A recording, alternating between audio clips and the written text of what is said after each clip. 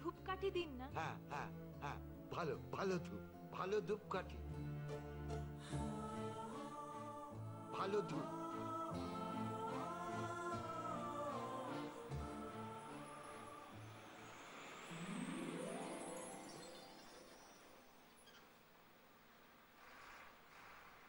কে? চিলবা এটো আমার চিলবায় হাত মনে হচ্ছে। তুই? এতদিন কোথায় ছিলিস মা এটা তোমার সঞ্জু দাদাবাবুর গাড়ি।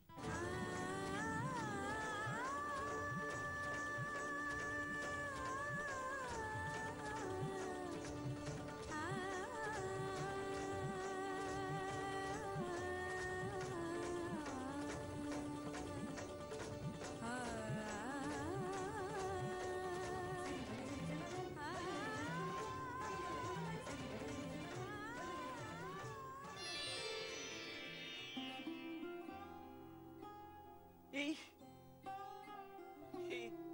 এই গাড়িটা, এই এই গাড়িটা আমার সঞ্জু দাদা বাবুর গাড়ি।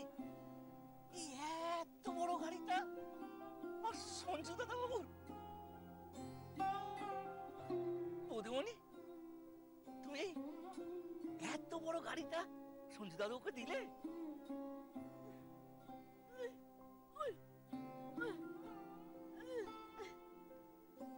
বৌদিমণি কি বলছে?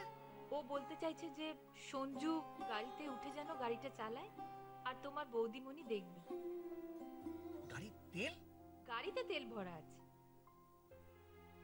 কিন্তু বাড়ির লোকদের কি বলব? বাড়ির লোকদের কিছু বলা দরকার নেই। সঞ্জু বাড়ি থেকে বেরোনোর সময় সাইকেল নিয়ে বেরোবে তারপর আমাদের বাড়ির সামনে এসে সাইকেলটা রেখে দেবে আর এই গাড়িটা নিয়ে বেরিয়ে যাবে। কাল তোমাদের বাড়ির পার্টি আছে? সঞ্জু এই গাড়ি করে সেখানে যাবে। সত্যি? হ্যাঁ। বলছিলাম কি ঝিল বৌদিমণি আর সঞ্জু দাদু একটু গাড়িটা করে ঘুরে আসুক না। তোমার সেই স্বাদও পূরণ হবে গো। কিন্তু তার আগে সঞ্জু এই গাড়িটা চালাবে আর তোমার ঝিল বৌদিমণি দু চোখ ভরে সেটা দেখবে। আমি এক্ষুনি যাচ্ছি।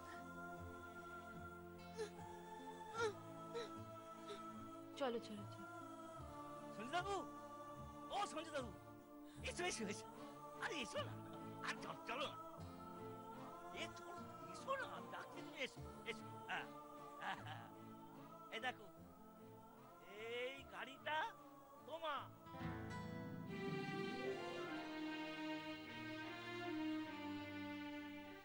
কার গাড়ি? তোমার। তোমার গাড়ি। মা লক্ষ্মী মা লক্ষ্মী তোমাকে দিয়েছেন। তুমি যদি জানতে পারতে সে মা লক্ষ্মী আর কেউ নয়, ঝিল বৌদিমণি কত খুশি না হতে। না না, ওঠো ওঠো। সাইকেল সাইকেল সাইকেল চড়বার দিন শেষ। এখন গাড়ি। আরে বাবা যাকে যেখানে মানায়। যশোজিৎ মুখার্জির ছেলে। গাড়ি তো চলবেই। ঝিল মুখার্জির পর তবেই না গাড়ি চড়ছে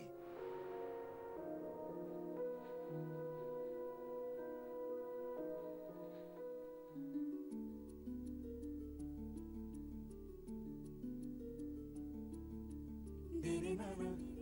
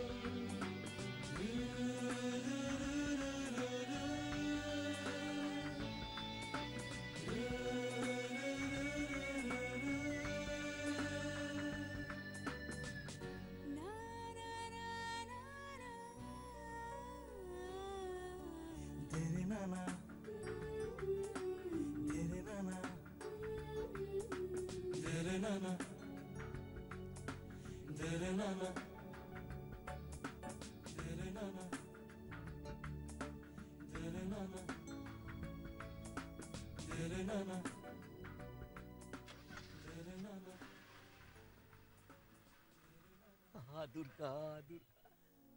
একটা পরীর গল্প, লেখা অল্প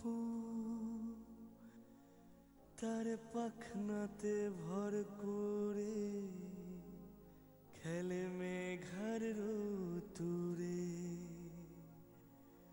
তার রাম ধনু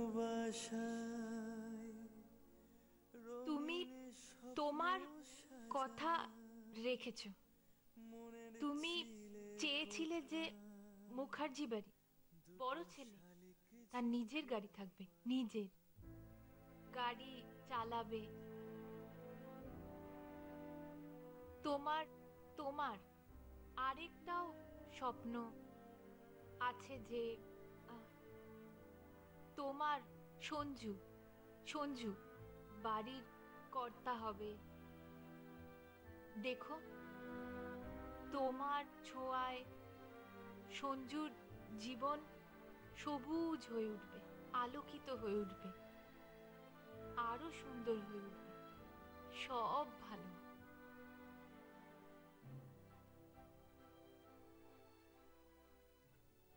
গেল কোথায় সব? কখন থেকে বসে আছি? দিদুন এটা কি ঠিক হচ্ছে? ওনারা কেউ বাড়িতে নেই অথচ আমরা বাড়িতে ঢুকে এই কিছু করতো দুদিনের মেয়ে? আমার এত বয়স হয়ে গেছে আমাকে এখন ঠিক ভুল শেখাচ্ছে। কিন্তু গেল কোথায় সব? আপনারা?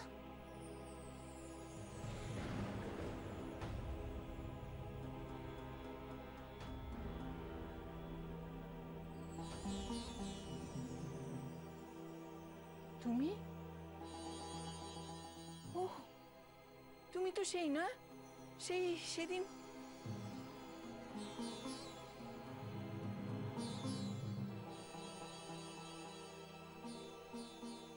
এবার আমি বুঝতে পেরেছি ডাকো ডাকো আমার নাত বউকে ডাকো নাথ বউ হ্যাঁ আমার নাত বউ ডাকো ওকে আজ আমি ওকে নিজের হাতে খাওয়াবো বিয়ের পর তো খাওয়াতে পারিনি আজ আমি ওকে সামনে বসিয়ে নিজের হাতে খাওয়াবো কত রকমের রান্না করেছি জানো কত রকমের পদ।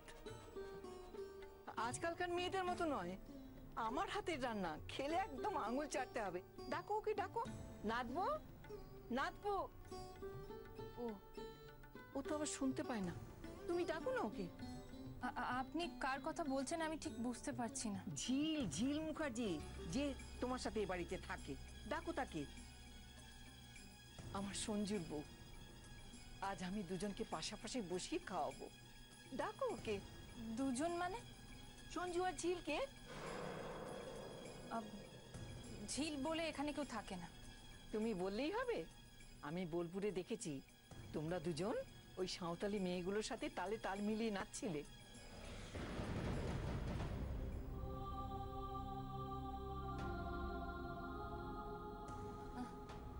দেখুন আপনি কিন্তু ভুল দেখেছেন। ও ঝিল নয় ও তমসা ঠাকুর ইউএস থেকে এখানে এসে থাক আমাকে অত বোঝাতে হবে না। এই অর্ণা খাবারগুলো এখানে নিয়ে আয়। দিদুন। যা বলছি তাই কর না নিয়ে আয় এখানে। দেখুন আপনি কিন্তু জোর করে ঘরে ঢোকার চেষ্টা করছেন। চেষ্টা কি বলছো? আমি তো ঘরে ঢুকে পড়েছি। এখন নাতি আর নাত বউকে পাশাপাশি বসিয়ে খাইয়ে আমি এখান থেকে চলে যাব। নাতি আর নাত বউকে একসাথে বসিয়ে খাওয়াবেন? আর না থালা বার কর। দেখুন আপনার কিন্তু ভুল হচ্ছে। প্লিজ এসব নিয়ে এখান থেকে চলে যান। তোমার কথায় যাব না তো? আমার নাত বউ যদি এসে বলে যে ও ঝিল নয় তমসা ঠাকুর তবেই আমি এখান থেকে যাব আর আ মরণ উপোস করে থাকব। আপনি এসব কি বলছেন?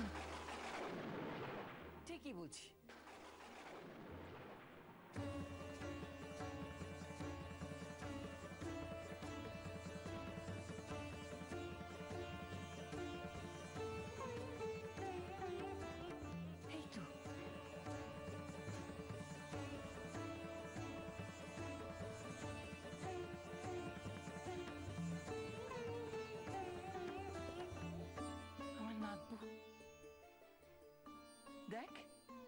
আমি তোর জন্য কত রান্না করে নিয়ে এসেছি। আমার কত দিনের শখ ছিল। বিয়ের পর তোদের নেমন্তন্ন করে খাওয়াবো। আমার এনাকের ছেলের বুকে আমি খাওয়াবো। আমার আমার সে স্বাদ আমি পূরণ করব। ঠিক পূরণ করব। তারপর আমার নাতির ঘরের পুঁতি দেখব। বল দেখি কত স্বাদ আমার। হ্যাঁ? আয় আয়, বস।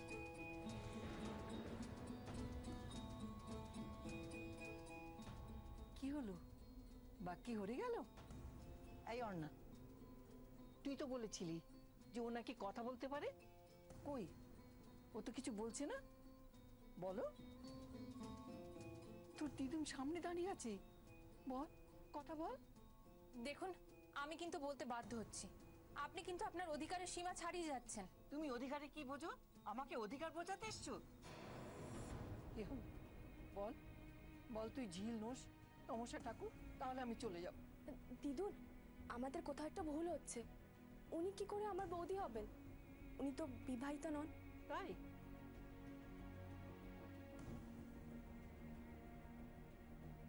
তাহলে ওর হাতে এই নোয়াটা কেন?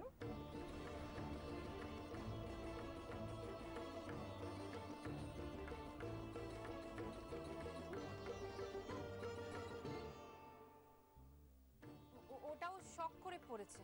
থামো তুমি। সব কথায় নাক গলাবে না। আমার কথা পূরণ করছ? সব কথায় নাক গলাচ্ছ। শখ করে নোয়া পড়েছে না?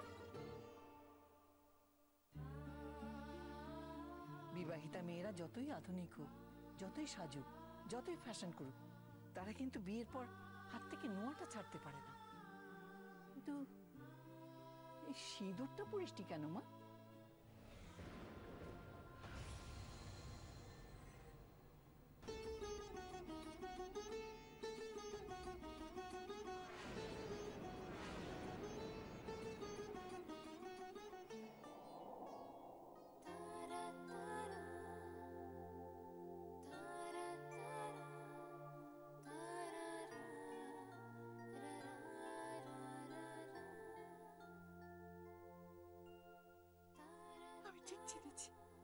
আমার ঝিল।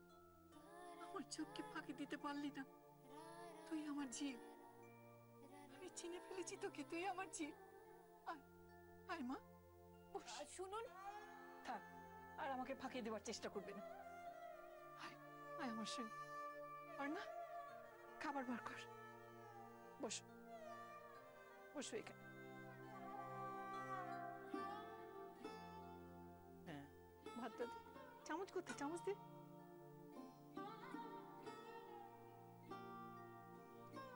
আজ আমি তোকে খাইয়ে দেবো নিজের হাতে।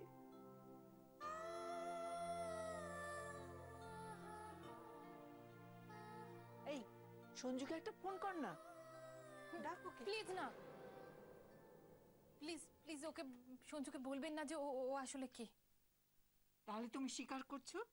ও ঝিল? হ্যাঁ ওই ঝিল। উনি তোমাকে চিনে গেছেন। তাহলে এই লুকোচুরি কেন? আমি আমি আপনাদের সব বলব। কিন্তু তার আগে আপনাদের আপনাদের আমাকে কথা দিতে হবে যে আপনারা কাউকে বলবেন না যে ও তমসার ঠাকুর নয় ও জি কেউ যেন জানতে না পারে। আপনি আপনার নাতনির মাথায় হাত রেখে প্রতিজ্ঞা করুন তারপর আমি সব বলব। ঠিক আছে। আমি আমার নাতির মাথায় হাত থেকে প্রতিজ্ঞা করছি। আমি কাউকে বলব না। বলো বলো।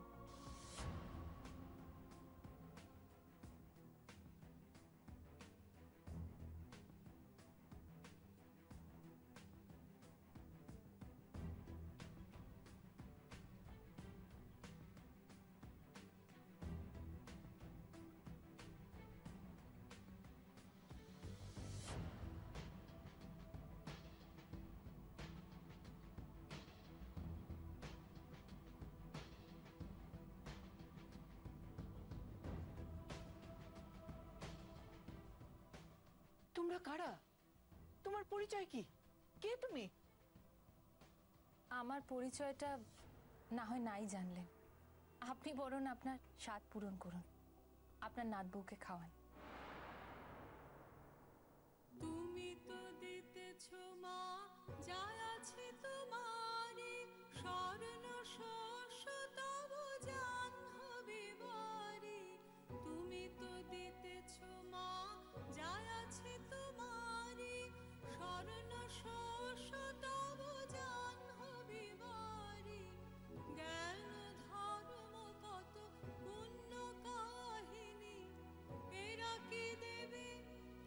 কিছু না কিছু না, মিথ্যা কবে শুধু হীন পরাণ? কেন যে আছো গো মা?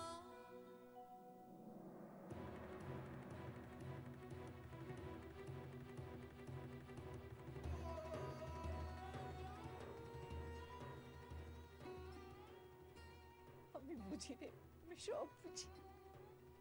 কাঁচা বয়সে বিয়ে করেছিস? যে কত কষ্ট কত জ্বালা বরকে ছেড়ে থাকতে। আমি সব বুঝি রে মা সব বুঝি। বৌদি আমি একবার দাদাকে এখানে আসতে বলি। দাদা খুব খুশি হবে। দাদা সারা দিন রাত পাগলের মতো শুধু ঝিলঝিল করে। আমি একটু দাদাকে ডেকে আনি। না না না ওর না একদম না। কেন দিদু? ওরা যেটা করছে ঠিক করছে। ওই মুখার্জি পরিবারের সবাইকে উচিত শিক্ষা দিতে হবে। আমার মেয়েকে মেরেছে? এখন ঝিলকে মারার চেষ্টা করছে? ঝিল যদি ফেরত চলে যায়, অপরাধী যদি ধরা না পড়ে, তাহলে ওরা আবার ঝিলকে মারার চেষ্টা করবে। তখন হয়তো ঝিল মরেই যাবে। তার থেকে থেকে ও দাঁতে দাঁত চেপে সব কষ্ট সহ্য করবে। আমরা কাউকে বলব না। কাউকে বলব না, কাউকে না।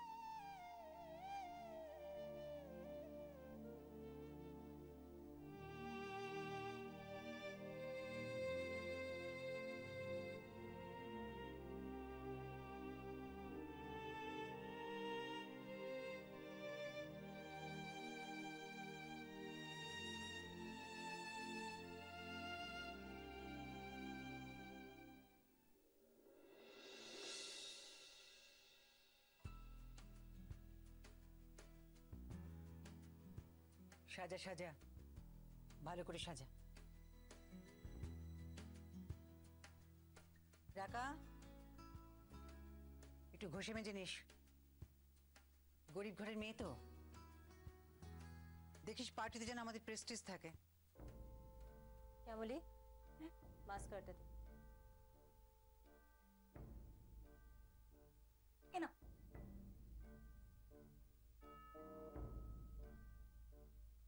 সাজো সাজো।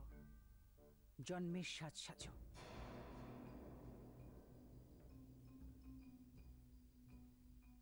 রাখা। রাখা ওকে খুব ভালো করে সাজাতো যেন আজকের পার্টিতে সবাই ওর দিকে তাকিয়ে থাকে। হাজার হোক। আজকের পার্টিতে যে নাটকটা হবে তার মুখ্যী রানী তো ওই। মামিমণি? মামিমণি এই তো ছোট মামিমণি বলছি তোমার মাস্কারাটা আমাকে একটু দাও না। কেন শাড়ি তোর মার কাছেও তো একটা আছে। মমের মাস্কারাটা ড্রাই হয়ে গেছে ওই জন্যই তোমার থেকে চাইছি। দাও না। এই তোর মা কোথায় রে? মম? মম তো ঘরে রেডি হচ্ছে। চল তোর মাকে বলিস একটু তাড়াতাড়ি সাজতে। ওনার তো আবার দশ ঘণ্টার আগে সাজ শেষ হয় না। এই বয়সে যে কি এত সাজেন ভগবান জানে। বাবা সামান্য একটা মাস্কারার জন্য তুমি আমাকে এত বড় কথা শোনালে? চাই না তোমার মাস্কারা।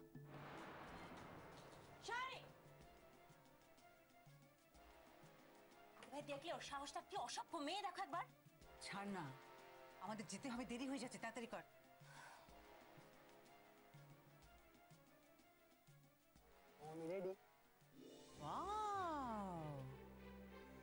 কি দারুণ দেখাচ্ছে হ্যাঁ? এই না হলে আমার ছেলে। দেখি দেখি দেখি দেখি।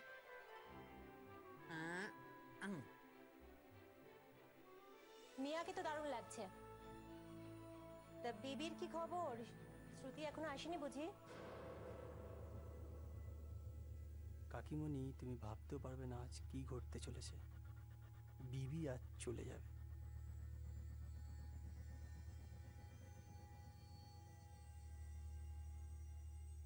শ্রুতি রেডি হয়ে পার্টি হলে চলে আসবে। আরে শ্রুতির বাবা মা আসছেন? না না মাম ওনারা ব্যাঙ্গালোর গেছে কার ট্রিটমেন্টের ব্যাপারে। ও মা সে কি? তো ওদের বাড়ি থেকেও আসবে না? ও দিদি আসছে তো। দিদি ভাই? হুম। দিঘি একদম রেডি তাই। রঞ্জু আরে কাজ করতো স্নেহা আর শায়রিকে নিয়ে তুই আর বিশ্ব বেরিয়ে যা যা। ওকে মাম। আমি আসছি